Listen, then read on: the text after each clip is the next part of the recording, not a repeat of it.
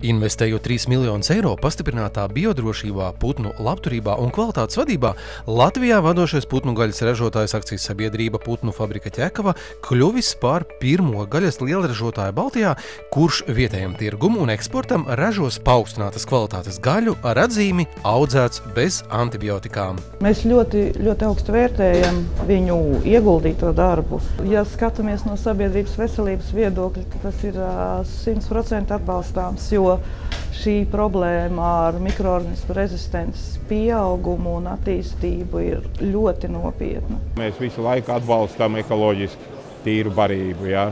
Mēs atbalstām pirmkārt barību dzīvniekiem un pēc tam atbalstām produktu cilvēkiem. Nu, tas ir uh, visā Eiropā mērķis un uz to iet visas valstis.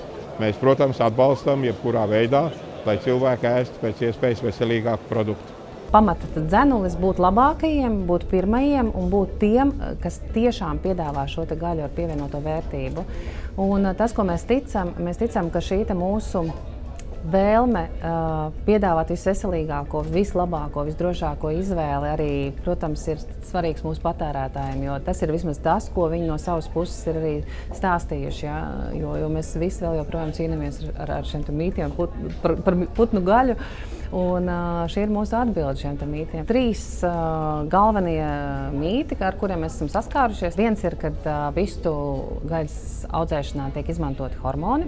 Atbilde Hormoni ir aizliegti Eiropas Savienībā jau kopš 50. gadiem. Otrs lielais mīts par vistas labturību, ja, par augšanas apstākļiem.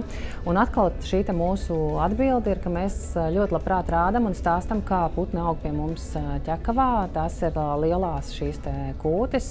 Viņi saņem pilnvērtīgu barību, kur pamats sastāvdaļa ir graudi, 60% sastāv no.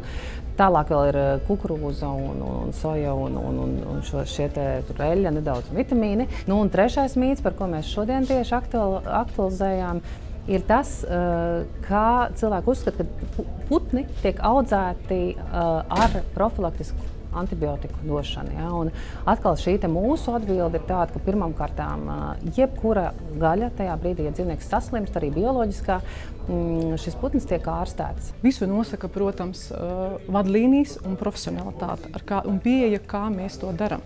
Jo Eiropas kopienā ir arī pamatnostādnes, kas nosaka, ka ne jau pilnībā aizliegt antibiotiku lietošanu produktīviem dzīvniekiem, bet lietot to atbildīgi. Jo dzīves organisms dzīve radība.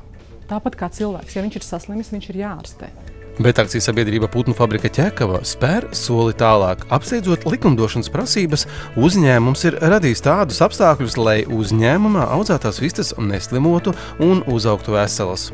Zīmīgi, ka šīs lielās pārmaiņas nāk laikā, kad kompānija svin savu 50 gadu jubileju, nākamos 50 gadus un vairāk iesākot jau pavisam citā kvalitātē. Šobrīd tas, ko mēs esam sasnieguši tieši saistībā ar putnu labturību, ir mūsu dāvana mūsu patērētājiem savā 50 gadu jubilejā.